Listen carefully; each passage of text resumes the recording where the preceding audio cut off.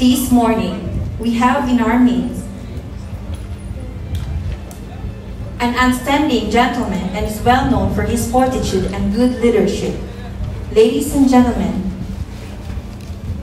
let us now begin with an invocation to be officiated by SFO1 Janice May Calibo.